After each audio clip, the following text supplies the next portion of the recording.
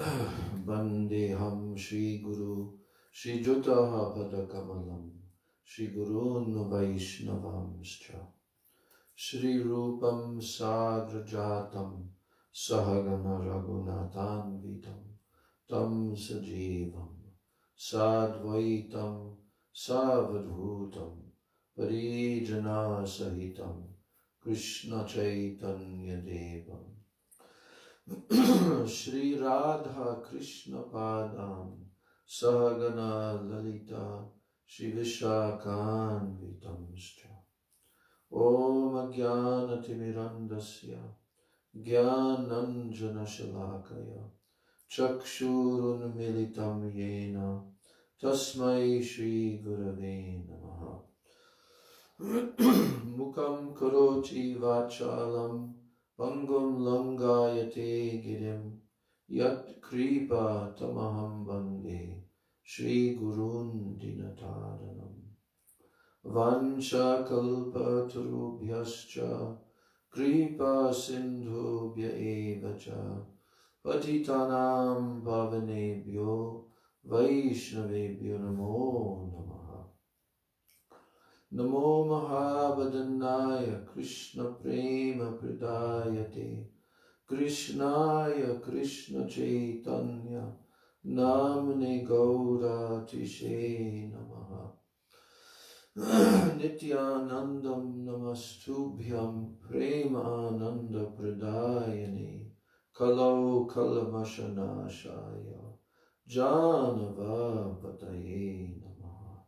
Panchatattvatmakam Krishnam. Bhakta Rupa Swarupakam Bhaktavataram Bhaktakyam. Namami Bhakta Shaktikam He Krishna Karuna Sindho Dinabandho Jagatapate Gopesha Gopika Kanta Radhakanta Namostute Tapta Kanchana Gaurangi Radhe Vrindavaneshwari वृषभानुसुते देवी प्रणमामि हरिप्रिये। जयतं श्रुतोपङ्गो मम मन्दमतेर्गति। मत्सर्वस्व पदाम्बोजौ राधमदनमोहनो। दिव्याद्वृन्दरण्य कल्पद्रुमधा श्रीमद्रत्नगार सिंहासनस्थो श्रीमद्राधा श्रीलगोविन्ददेवो प्रेष्टालिभिः सेव्यमानो स्मरामि श्रीमन्रासुरसारम्भि वंशीवता ततक्स्थितः कर्षणवेणुस्वनैर्गोपीर् गोपीनाथश्रियेस्तु नः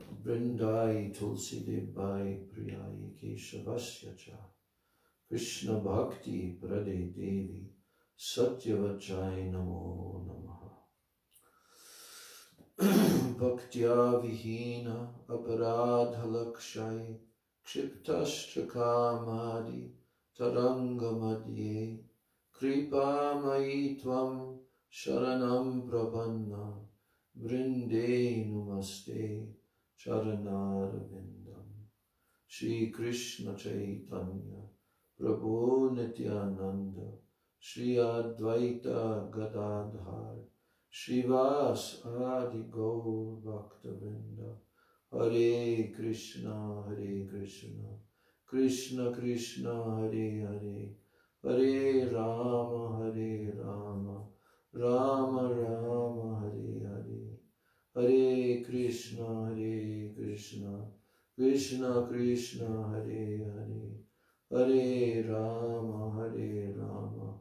Rama Rama Hare Hare. For my unlimited Dandavat pranams, my Shraddha Pushpanjali, at the lotus feet of my most worshipable, beloved Gurudev, Nitya Lila Pravishta Om Vishnupad, Paramahansa Astatarashata, Sri Srila, A.C. Bhakti Vedanta, Swami Maharaj, Srila Prabhupada, and Nitya Lila Pravishta Om Vishnupad, Paramahansa Ashtotarasata Srishila Bhakti Vedanta Narayan Goswami Maharaj and Nitya Lila Pravishto Vishnupad Paramahansa Ashtotarasata Srishila Bhakti Rakshak Sridhar Goswami Maharaj then I offer my Dandavat pranams to the lotus feet of all my Sri Sri Rupa Nuga,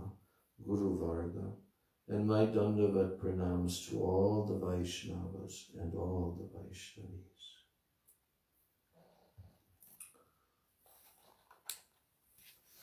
So, for the devotees that are tuning in online, uh, today in the United States of America is um, a day, it's a holiday when people uh, come together, their families come together for celebration kind of mood. And it's called Thanksgiving. To give thanks. To who? To give thanks to God.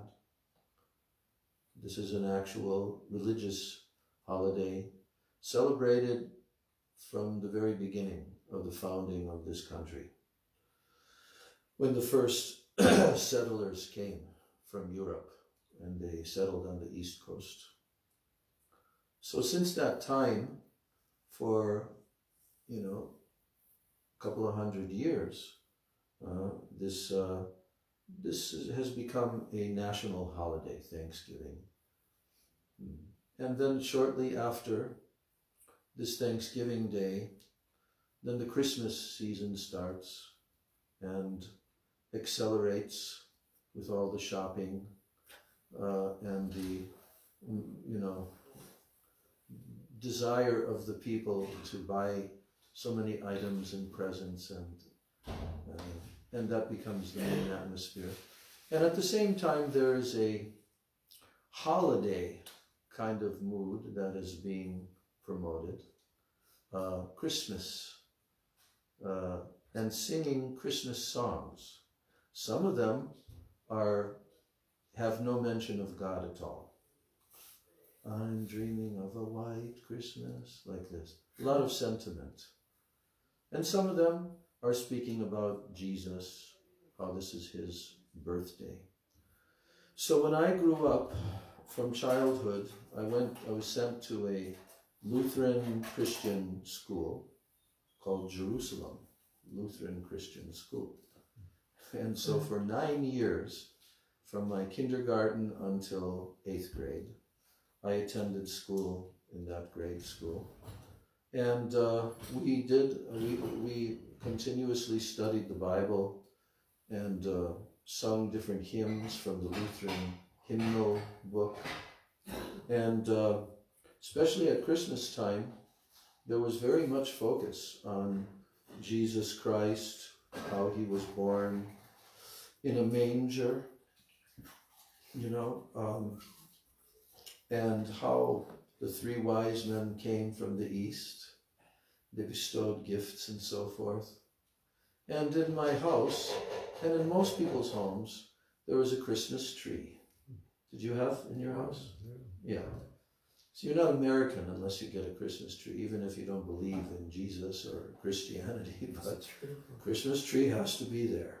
We've had Christmas trees in here in the past year. Yeah, yeah, and I've seen. And even when I was a householder, there had to be a Christmas tree there. You know, for the kids to kind of identify with a little bit. Um, and the decorations, so many ornaments, very very beautiful decorations and also strings of colored lights and and they, they invented so many things that you can put on the Christmas tree to spray to make it kind of look a little bit like snow, you know. And uh, so that, yeah, so, but underneath the tree, my parents, and, and also on some like, some other shelving, they would put these little figures uh, of small little, um, no, no, no, not elves. The, This is like Jesus Christ. It's called nativity scene. A nativity scene where where there's like the the manger and born in a in a cowshed or something. Oh, that. Yeah, and then and then he's there as a baby. Mary and Joseph are there, and then the three wise men and the camels that they came on. So there's like a whole little diorama exhibition like that, you know, to remind us like that.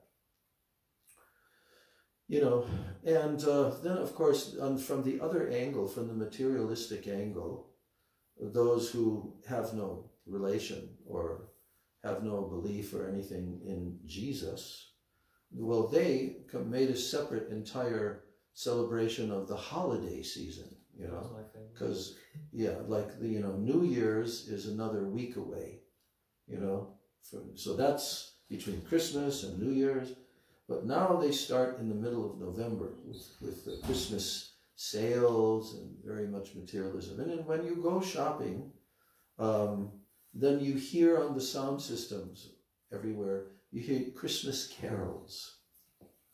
Christmas carols. Well, what is that? Well, it's different songs, you know, about the joy and the season of Christmas. Of course, in the areas where there's snow, then it, then there's much more udipan, stimulus for that. I I never celebrated a Christmas in a place that doesn't have snow. That was in my childhood always. So snow was there on the ground always. And that's why they wrote a song called I'm Dreaming of a White Christmas. Because without the snow, then it doesn't have all the baths, all the moves. You see? Yeah. They would even call it Xmas. Yeah, that's uh, that's what they did. They actually crossed out the name of Christ with an X. Is that what Yes. Yeah. Yeah. I always thought it was like supposed to be like that for T for the cross. No. Just take out Christ. They literally just crossed out Christ and put, oh Right, my gosh, right. how terrible. Yes. There's also sections of people, I don't have to mention their names, of their groups, but they hate Jesus. Okay. So anyway, there's a whole history from Europe, how this came to be, that date. It's not actually the date that Jesus appeared, but it, it had to do with certain political things, and, and they had they had ancient um, um, pagan pagan religions and you know and different holidays and stuff that were celebrated uh, without connection with Christianity, right? But there there was a desire by the Roman Empire to replace those pagan with uh, Christian dates because they adopted Christianity as the religion of the state. You know, so um, so in this way we grew up, and then of course there's there's the legendary Santa Claus, Christmas stockings. Christmas stockings, yeah, which has to have candy in it, or coal. or? Coal. yeah, or coal, and you know, then there's the movies, all the movies, every single Christmas time, Hollywood produces some movies about, you know, that whole, the whole genre of of the all the fun and everything that they can have during that time, Christmas time. You know, so everything's set up in the West, in the materialistic civilization, to make more and more money off of the people's desire to celebrate that time of the year. Um, yeah, and so uh, I was remembering because after I left the grade school, then I went to high school, and that was uh, from 1966 until 1970. 1970, I turned 18, and after getting out of high school, then I met the devotees and became a devotee.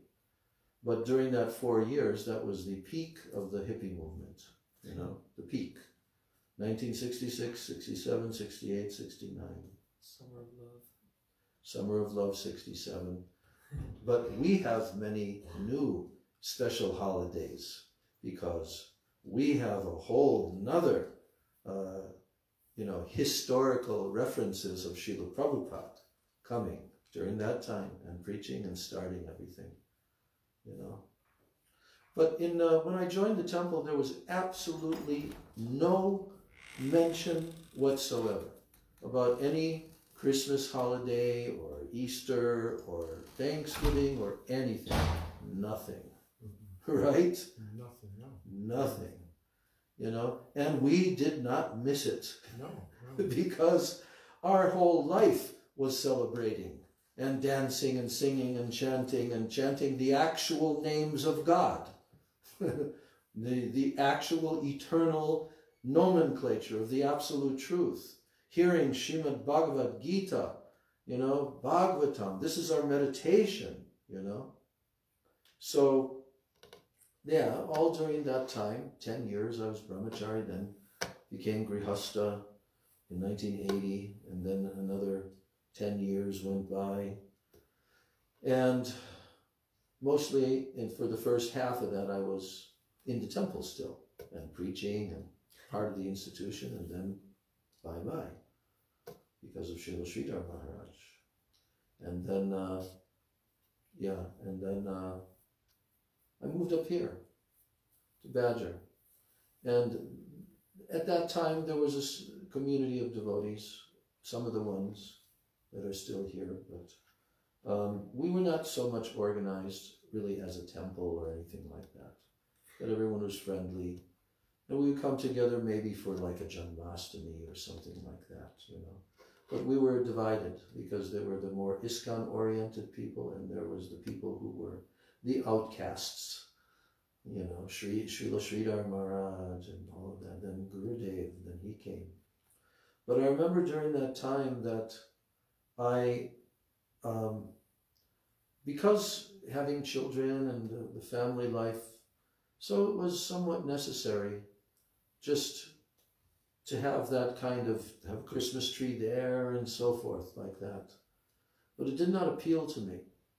And I remember, I specifically remember around when I was maybe that final year in high school, when I was 17, and uh, the Christmas season came. And I remember going out to see some friends on that evening.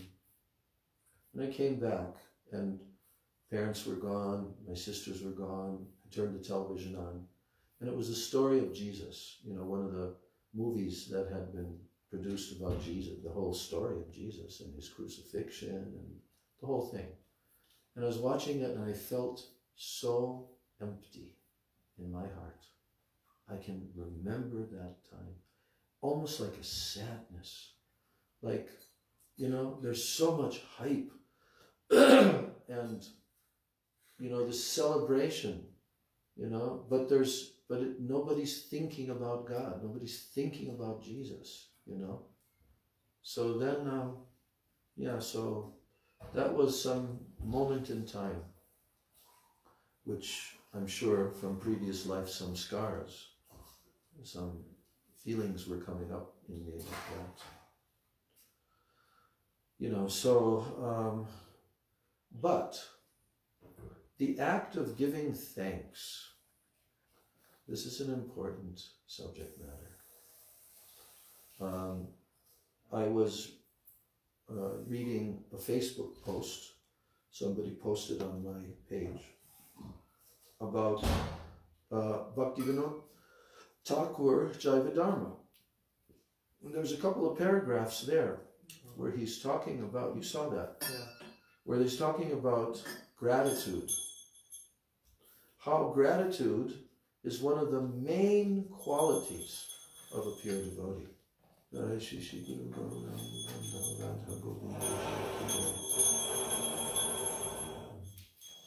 You know? One of the main qualities is gratitude. And he was he's explaining there that without this no one can properly make spiritual advancement. Without that mood and feeling of gratitude. And there are so many places in our Shastras where prayers are spoken by pure devotees, by elevated personalities, and expressing their gratitude to the Supreme Lord.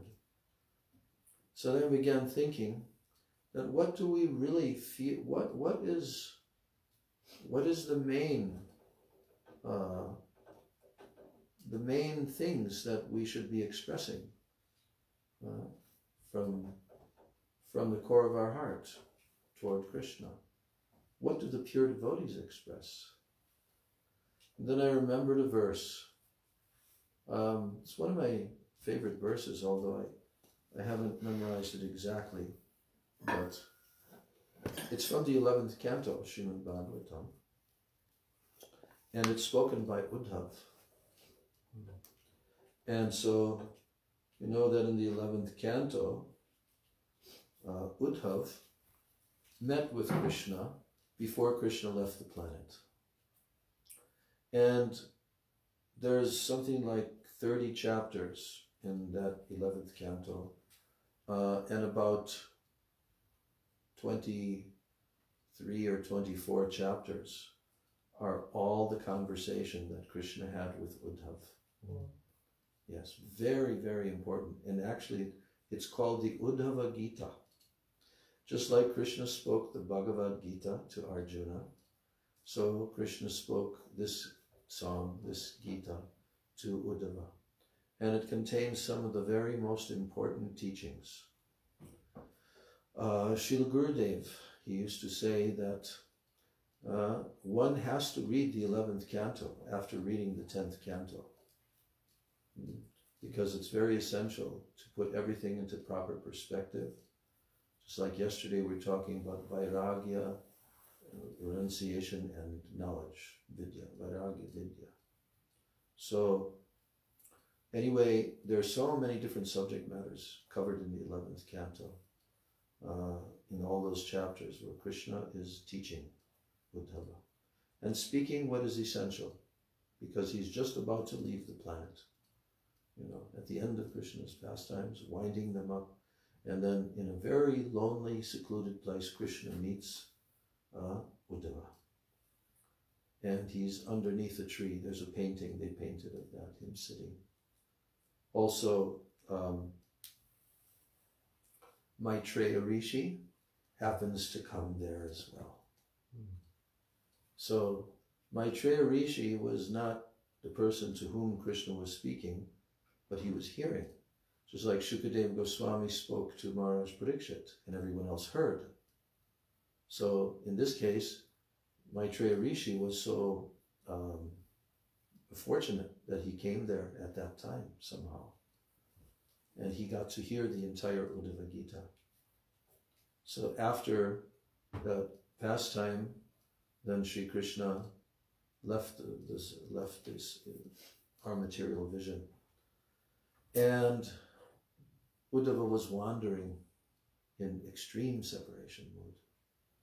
And upon his wandering on the pathway, he met Vidura. So you know Vidura is part of the Yadu dynasty family, very elevated personality. And in actuality, he's an incarnation of Yamaraj mm-hmm. in Krishna Lila, you know.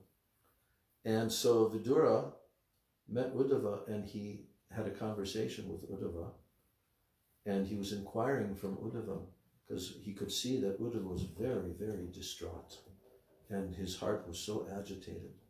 And then Uddhava began to remember Krishna, to remember his pastimes in Vrindavan. That's in the third canto. And there's a chapter there called um, Remembrance of the Vrindavan Pastimes. So then Uddhava informed Vidura that Krishna had now left the planet. And he told Vidura that before leaving, he spoke to me all these things. So then Vidura wanted to hear it from him. But Uddhava did not want to transgress the proper maryada, etiquette, uh, because uh, Uddhava was much younger than Vidura, and so there was a certain maryada there. So, and there was a, a senior person to him, namely Maitreya. Although Uddhava was much more intimate relationship with Krishna, he's one of his eternal associates. He has a much, much more intimate relationship than Maitreya Rishi. But Maitreya Rishi was senior and also very accomplished transcendentalist. So he referred Vidura that you should go to hear from Maitreya. He heard everything. And, uh, and then he sent him there. And he did hear. So many chapters of the third canto are Maitreya Uvacha. So, you know, Vidura is hearing from him. Uh, so in eleventh canto, this is so in eleventh canto. This is when this this talk between uh, Uddhava and Krishna is taking place, and Maitreya Rishi is there hearing it. Mm. But it kind of like goes back to third canto is when the conversation between Uddhava and Vidura and Vidura, uh, Vidura is told to go to Maitreya Rishi. That's right. My, my brain's just trying to conceptualize Yeah, yeah. 11th canto. Time wise, Yeah, the 11th canto comes much, much later. yeah. and the and the story of Uddhava hearing. But as we're hearing from the first canto, you know, then the second and third, and then third canto, that's when this uh, that's when the scene is set that Vidura is hearing many important topics from Maitreya Rishi. so it's not so linear. No, There's a lot of things that are, are not in chronological Right. order. Yeah. Yeah. There's a particular flow, there's particular subject matter of the Srimad Bhagavatam, just like in the first canto. Yeah. You know, then we hear about Narada Muni, you know, uh, speaking to Srila Vyasadeva and inspiring him to write the Srimad Bhagavatam, Mm. you know. And uh, then there's chapters in the first canto which are talking about uh, the battle of Kurukshetra and after the battle, the birth of Maharaj Parikshit, prayers by Queen Kunti Devi, you know. So there's like a scene. Some parts of the Mahabharata are drawn in there, you know. Mhm. And the Krishna, the character of, of who is this personality Krishna, are set in that context Mhm. of his pure devotees because they knew, they understood who Krishna is, you see. So in this way, the Bhagavatam gradually builds different subject matters. There's actually a verse that talks about the ten subject matters in Srimad Bhagavatam, yes.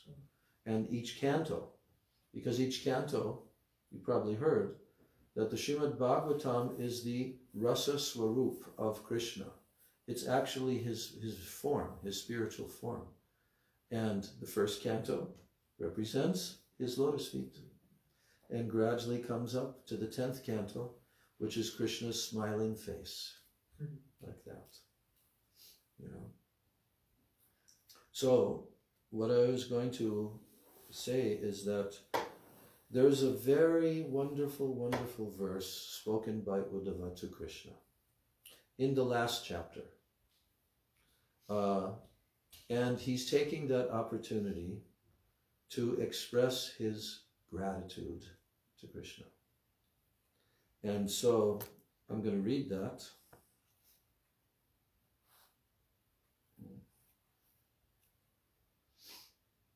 It's a it's a well-known verse.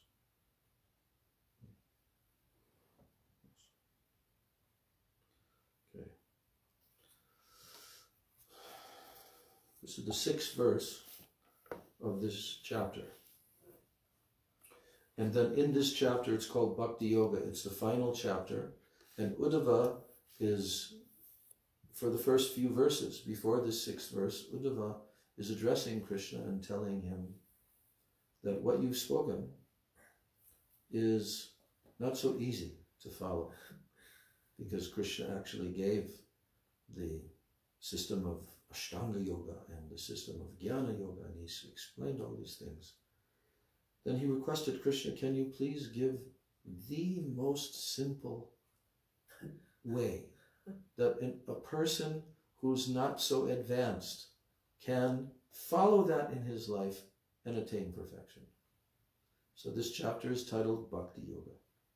And Krishna is giving this. But in the beginning of the chapter, when he's asking Krishna to speak this, he now he now declares to Krishna the feelings of his heart and his realization of gratitude. Because gratitude, as I said, is very essential for a devotee. For any pure devotee has gratitude. Even the Supreme Lord, Krishna, that's one of his prime qualities. He is always grateful for whoever does any service. Supremely grateful he is. Hmm. So the pure devotees are like that also. Here's the verse.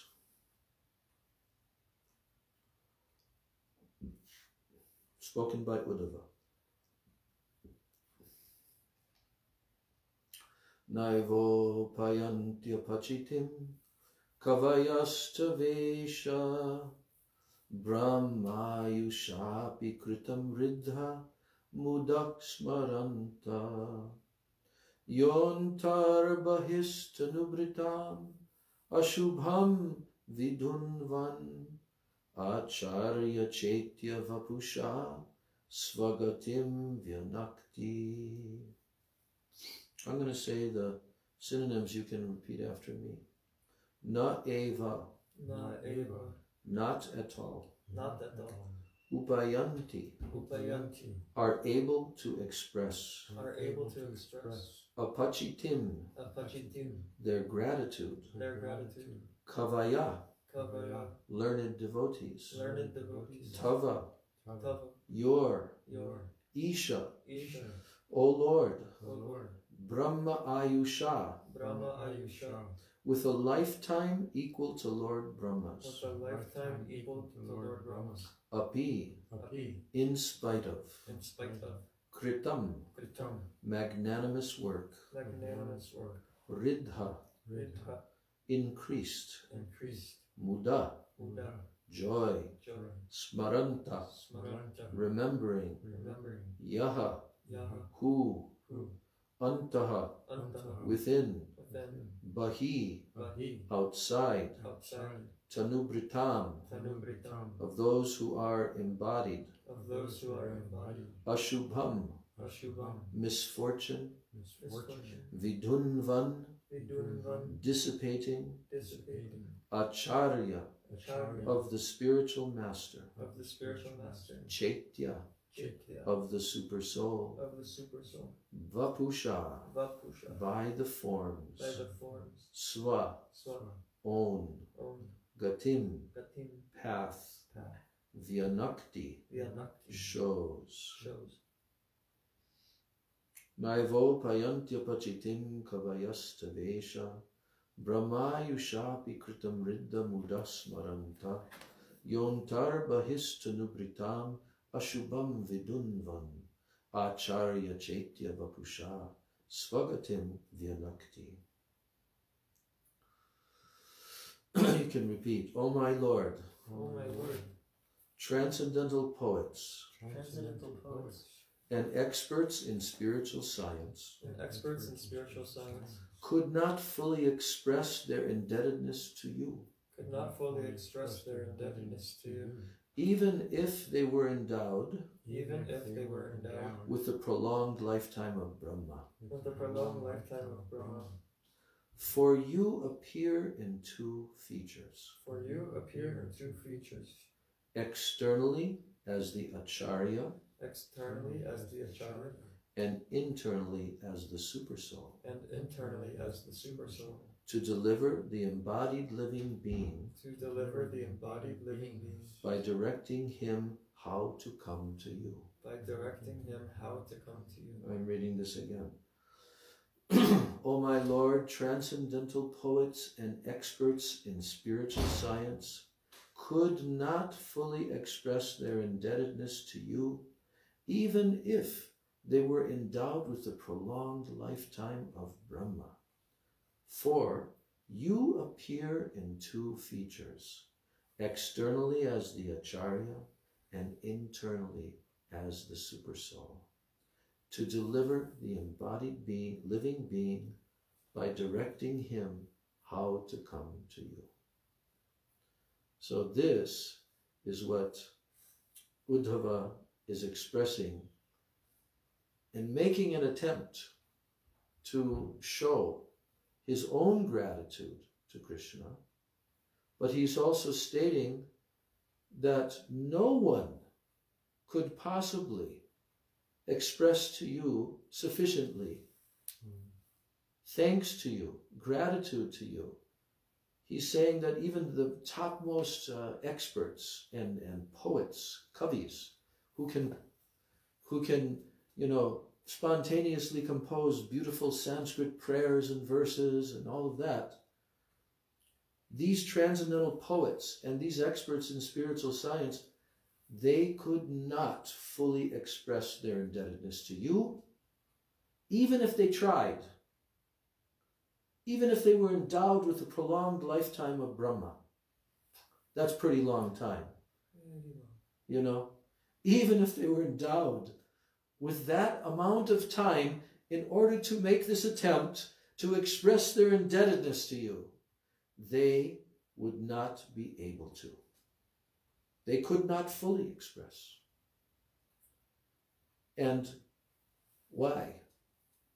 What is it about you that you have done for us, that we could never, ever, what to speak of repaying, even just to thank you, even just to express how much we are indebted to you. Why? Because of two things. You appear, you, my Lord, appear in two features within this universe, within this world, within this material creation. You appear in two features. One of them is external, Bahi, as the Acharya. Sakshad Haritvena Samasta Shastra. You appear as the Acharya. And your other feature, intern, internally, Antar, you appear as Paramatma as the super soul. Chaitya Guru. And what do you do in these two forms? You deliver the embodied living beings by directing them how to come to you. There is no other gratitude that could ever match this uh, particular expression what the Supreme Lord has done for all of us, fallen living entities. Aside from this, there cannot ever be anything as great uh, and as worthy of our thanks and gratitude as this. Because if he didn't do that, if he did not do that, if he did not come externally and manifest in this world as the pure devotees and the acharya. That's a, that is a type of Guru Tattva. Guru Tattva means Bhagavan himself is doing this, coming. And if he was not situated in our heart, where would we be? He's always with us in our heart. He states that very clearly in the Bhagavad Gita. I am the heart of every living entity, and I am directing their wanderings. And from me comes all knowledge, remembrance, and forgetfulness. In the Bhagavad Gita, Krishna states this. Our spiritual life, whatever we've come to in the course of our wandering in material existence, lifetime after lifetime, has come to some level of um, of achievement in one sense, of, of attainment, only because of this. On our own, we have no qualification at all. But Krishna, in these two ways, arranges to deliver all of us, embodied living beings, by directing him how to come to you. Yes, Swagatim Vyanakti. Swagatim means his own path, how to come onto the path to him. Vyanakti means he shows it. So, there's just a couple of lines here that were extracted by Hridayananda. I don't have other purports. He, you know, he's the one with the group of devotees that completed the 11th and 12th canto and so forth. But he's quoting from Jiva Goswami, and then he's quoting from Vishwanath Chakravarti Thakur. And this is something very, pretty amazing what they're saying. So according to Srila Jiva Goswami, Lord Krishna is 10 million times more dear to a devotee than life itself.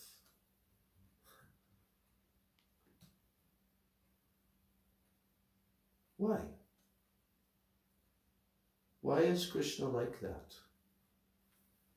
Why does a devotee have such extreme love and holding Krishna to be dearer by 10 million times than his own life. Why? What is, what is it about that? Can, can you say anything? What it may be? Why? The gratitude. Right. But but why is it that way? That Lord Krishna is literally 10 million times more dear to a, a pure devotee than life itself. Because Krishna is the soul of our soul. In the Bhagavatam it said, Atmanam, Atmanam is the Atma of the Atma. We don't realize that because we're covered by Maya and we're always looking for other objects of our affection and so forth. But those who are pure devotees, they have fully realized how Krishna is the object of all love, hmm. all love. And we always hear about Srimati Radhika being the extreme most beloved and attached to Krishna than anyone else. That is even beyond conception. And even, but even the, the jiva, the jivatma, Krishna is our real, true beloved and friend. He states that in the Bhagavad Gita, you know, where he says, anyone who understands me as the supreme enjoyer, right? Bhoktaram Yagyatapasam Sarvaloka Maheshwaram Suhridam Sarvabhutanam Yatvamam Shantim Rijati. So he's saying, anyone who understands me in three ways, he will attain Shanti, complete peace. First one, I am the supreme enjoyer. Which means what? We're not the enjoyers. He's the enjoyer. Uh, it's it's uh, reversed for the conditioned soul through the Maya potency because the conditioned soul wants to attempt to become the enjoyer. And no one can because constitutionally we are the enjoyed. We're Prakriti and he is Purusha.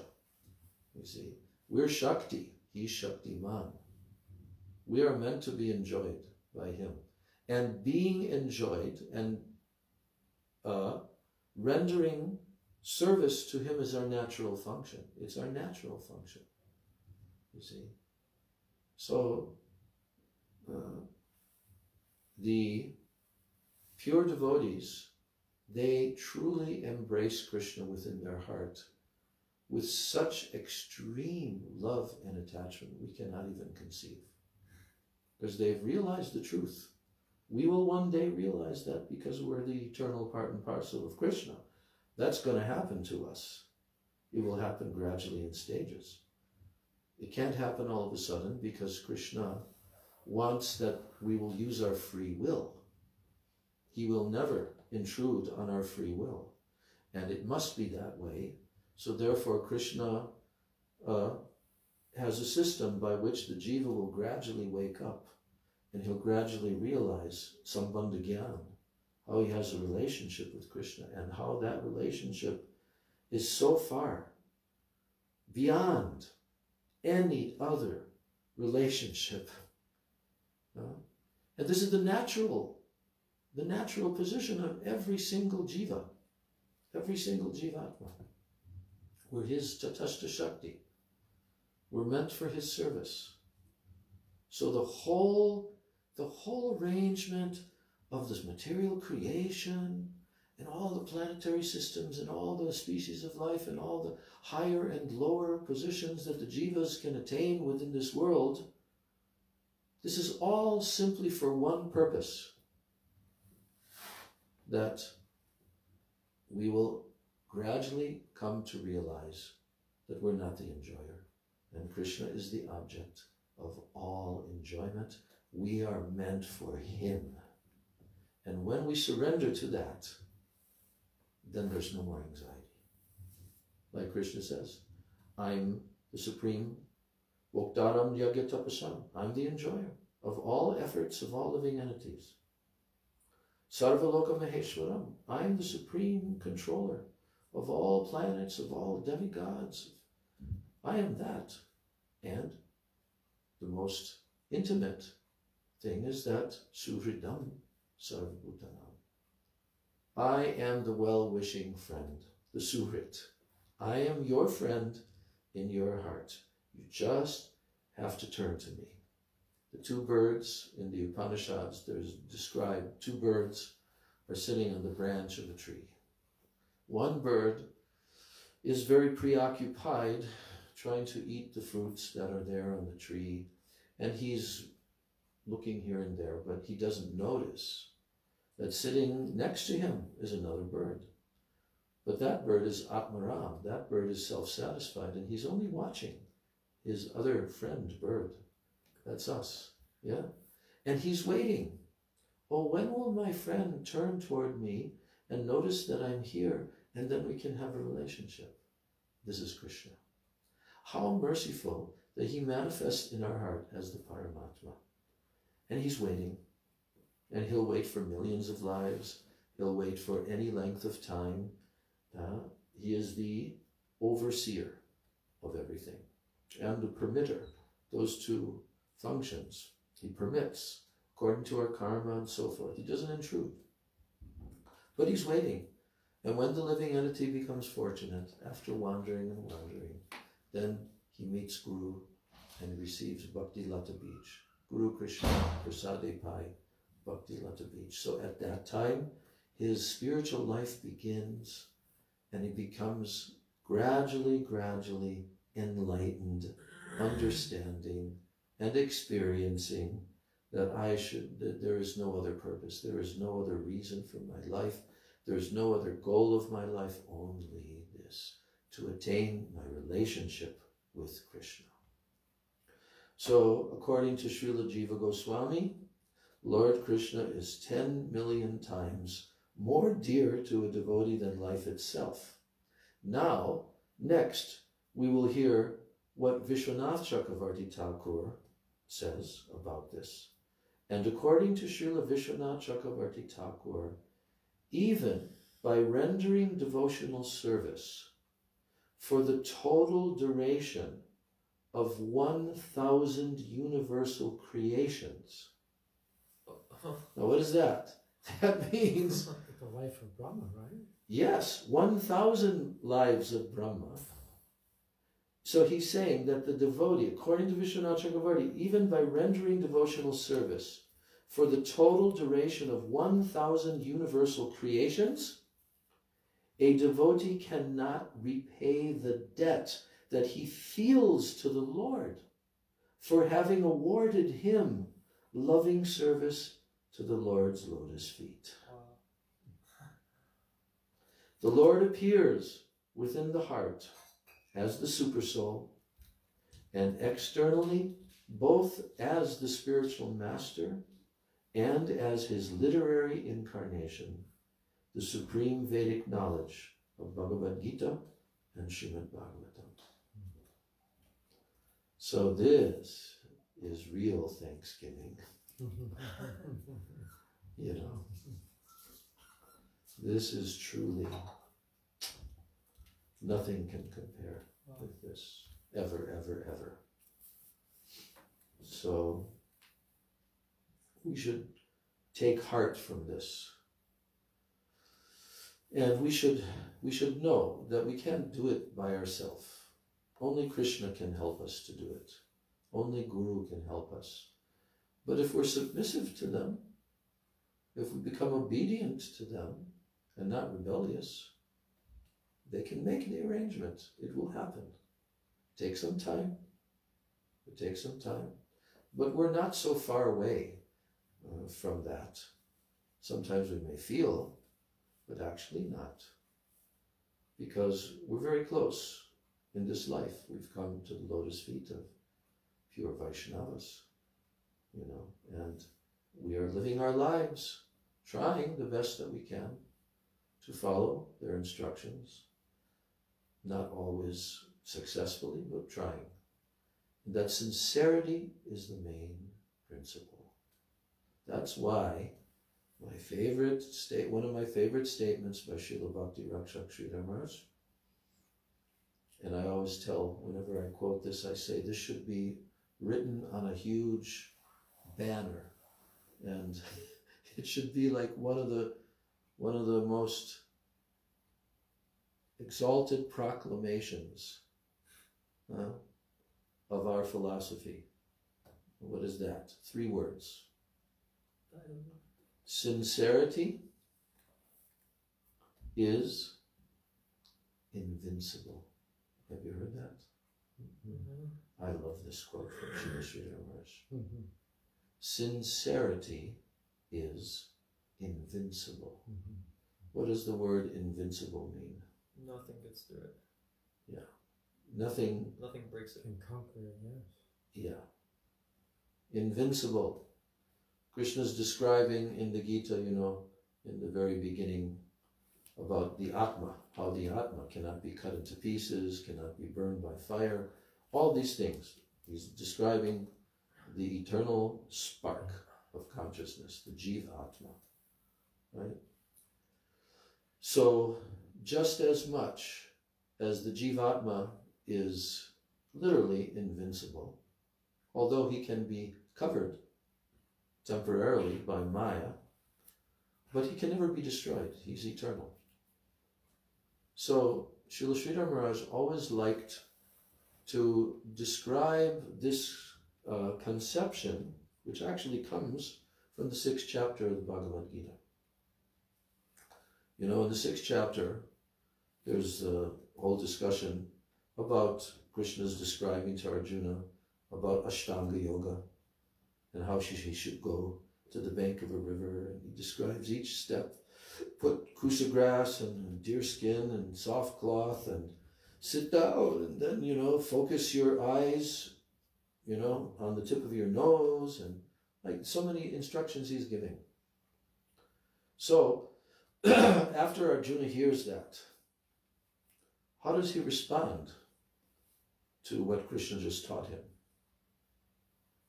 That's that's harder to control than the he, he says, wind.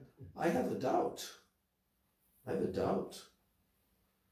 Because what you're describing seems in, difficult and um, intolerable, something like that he, he expresses. To do. Uh, and, and to control the mind is practically like trying to control the wind, Arjuna says. And then Krishna responds to that by saying, Yes, it's true. It's very, very difficult.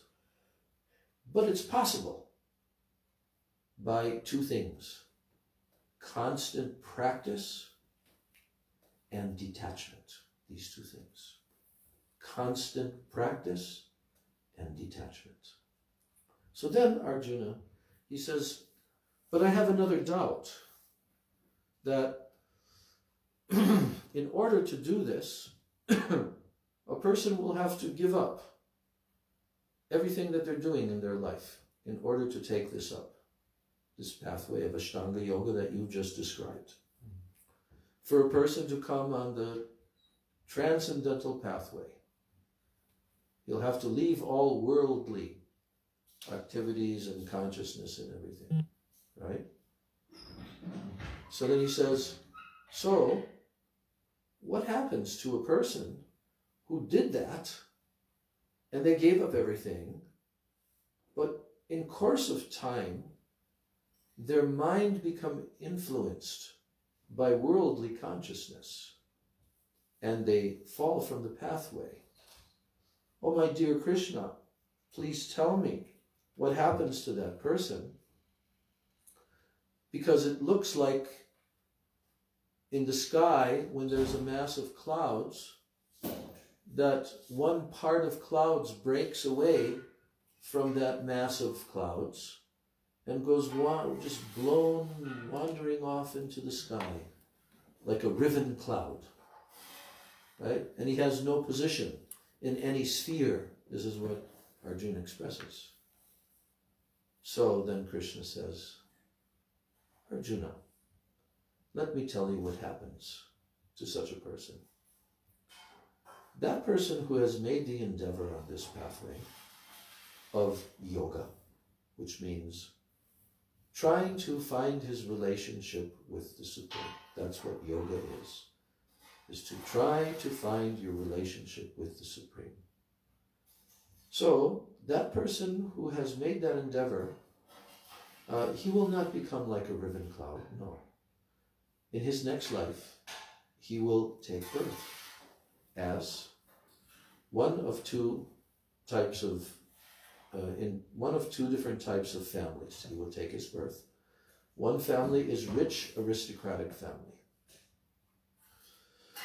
And the other, the other birth is a family of very high transcendentalists.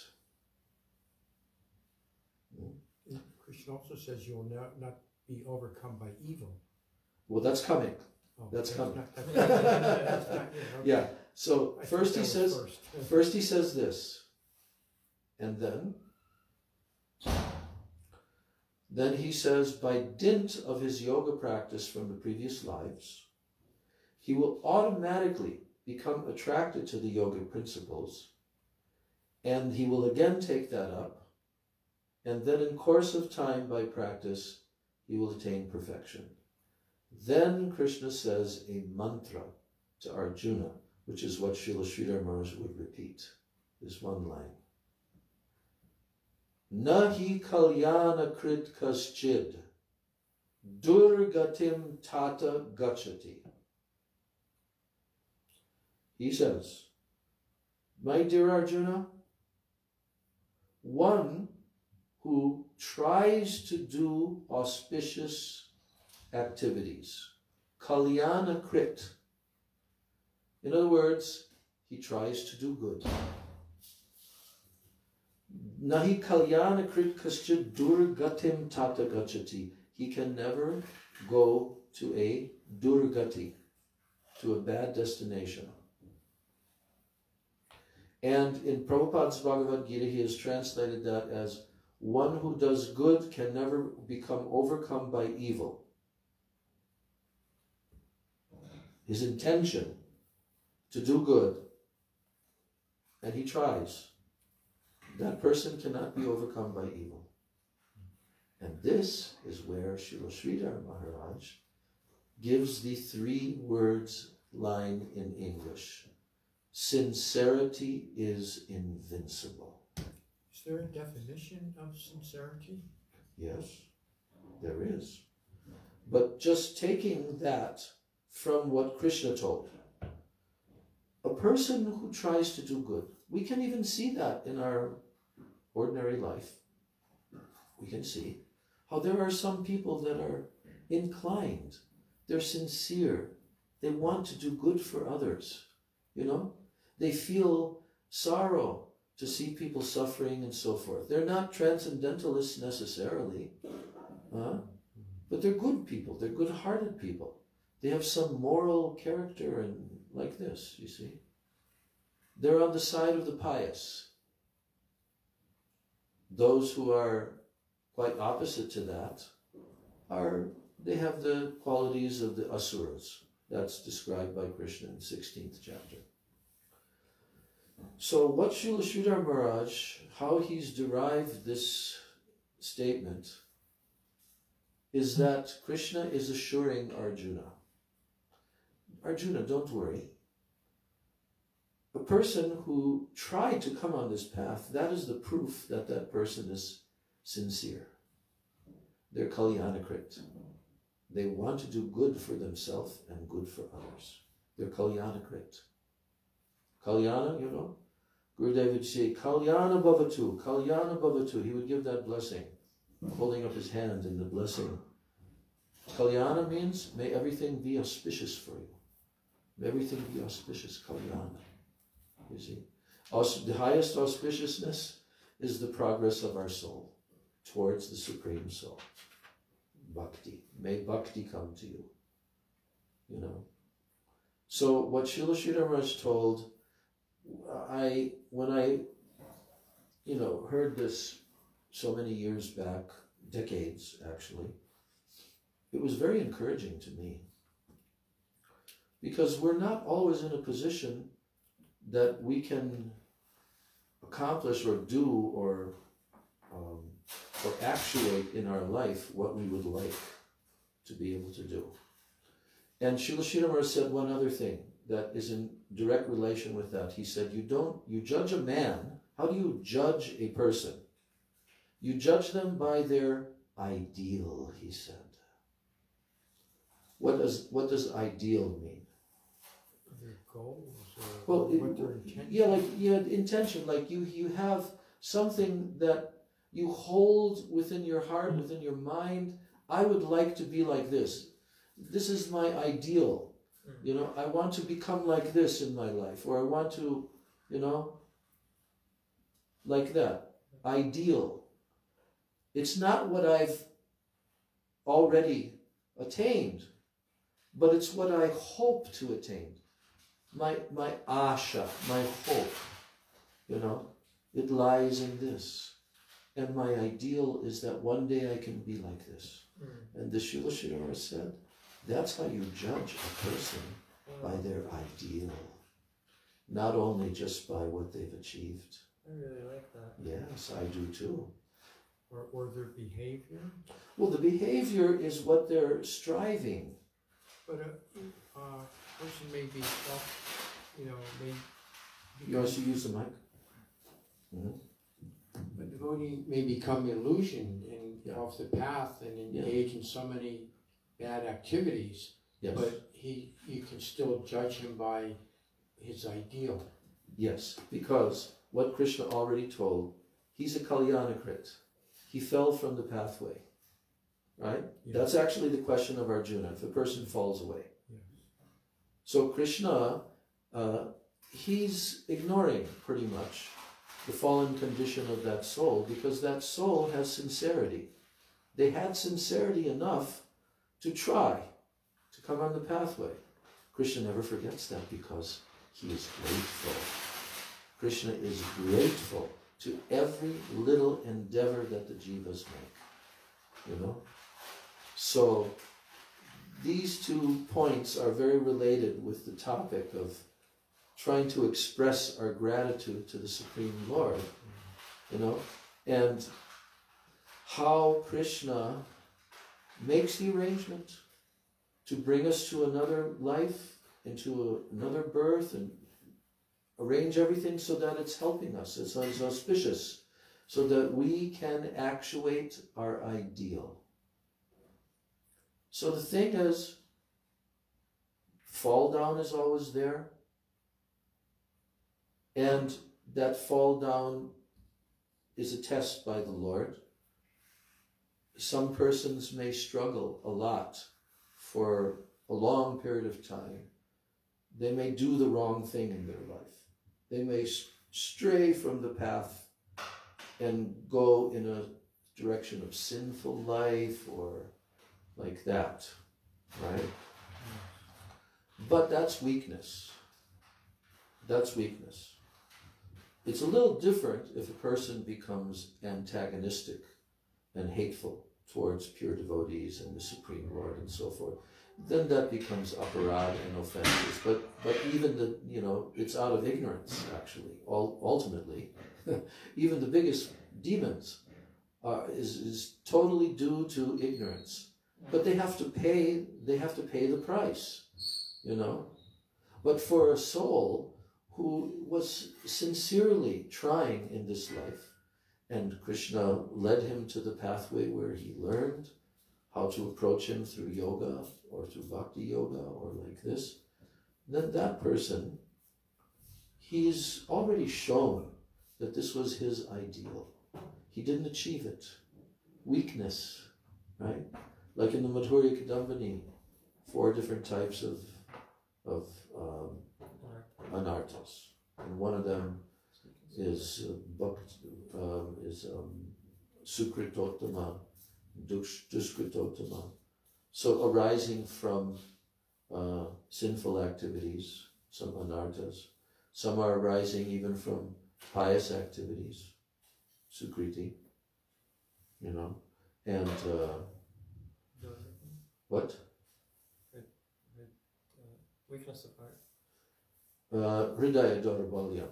Yes, Hridaya Daurbalyam. Weakness of heart. Krishna even addresses Arjuna. Arjuna, don't have such Hridaya Daurbalyam. Weakness. This doesn't become you, Arjuna. You know? so, I mean, the, the, the topic of this, you know, verse of Uddhava is to express gratitude that the Lord has made this arrangement. No one could ever think enough. So actually, we're very, very close. There's um, in the uh, tenth canto the story, the pastime of Krishna. You know, leaving the battlefield in when uh, Kalyavana and Jarasandha and their they were attacking Mathura, and they did so many times, and Krishna defeated them. But now, this time, he brought this Yavana named Kalyavana, right? And he brought huge numbers of soldiers. So at that time, Krishna performed a pastime of running away from the battlefield. Krishna the Ranchor? Yes, Ranchor means one who runs from the battlefield. So Krishna ran away and Kalyavana thought, look at this. Such a coward. And so he ran after him. he ran after Krishna, shouting abusive words, you, you coward, you, you know. Krishna just kept running, running, running. And then there was a cave on a mountainside. Krishna ran into the cave, and Kalyavana saw him from a distance. So then he came and he ran into the cave. And then Kalyavana, when he was inside the cave, he saw this shape on, on, the, on the ground inside of the cave. And he thought, oh, just see, this cowardly Krishna, he's trying to hide. He's trying to pull some blanket over him, like this, you know, he's trying to hide. Because it was very dim. It was dim inside of the cave, very, not much light. So then he went and he kicked, thinking it was Krishna. So then, suddenly, what he kicked, there was a very powerful personality who suddenly sat up and looked at him with his eyes. And from his eyes came, you know, the most powerful, fierce fire which burnt him to ashes in a single moment. So now that person who burnt him to ashes sat up and was looking around. And then he saw this effulgent person, Krishna. Who was that person who was lying asleep? Muchukunda. Muchukunda was a very, very powerful Kshatriya king. And although he was from the earthly plane, but he was so powerful that even the demigods, they requested that he should come and fight for them in their battle against the demons. So he fought very, very long time. Finally, the demigods, they were very pleased by him. And they gave him a benediction. What do you want? And what did he ask for? Want to sleep. yes, for a long time. I don't want anyone to disturb me. And if somebody comes and wakes me up and disturbs me before I naturally wake up, give me the power to burn him to ashes by my sight. Yes, granted. So Krishna knew because Muchukunda was actually a very great devotee. He wasn't an ordinary person. He was a very great devotee of Krishna, and Krishna knew he's there. And then he arranged for Kalyavana to, to be uh, cancelled. and then, uh, and then Muchukunda, seeing Krishna, he immediately could understand this is my Supreme Lord. Krishna was very effulgent. The whole cave was lit up by his effulgence. And he prayed the prayers of Muchukunda. So there's one verse inside of those prayers of Muchukunda to Krishna, which is cited by our acharyas. And Muchukunda is expressing, um, he said, Oh my Lord, the living entities are always wandering in material existence from life to life, from body to body. But somehow or other, after wandering for millions of lives, they now become fortunate and they meet your pure devotee in the course of their wandering. Then he says, this meeting is a sign that the long materialistic wandering journey of the living entity is about to come to an end. So it's true. We have to always understand this from this perspective that we have become very, very blessed and very, very fortunate. And we've been delivered from very fallen position. Prabhupada said every member of this Krishna consciousness movement must always remember how they have been rescued from the most fallen condition and sinful life. Yes. So we always have to remember this. And feel gratitude. So, that's some thoughts that I was having. We've expressed that. Gone a little bit longer because we started later.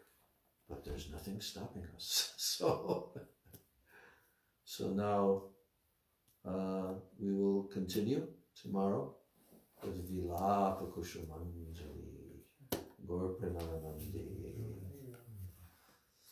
Shri Uddhava Ji ki jai, Shri Granthra Srimad Bhagavatam ki jai, Jai Jai Shri Radhe Govinda ki jai, Gaur Premanandi. Hare Krishna, Hare Krishna, Krishna Krishna, Hare Hare, Hare Rama, Hare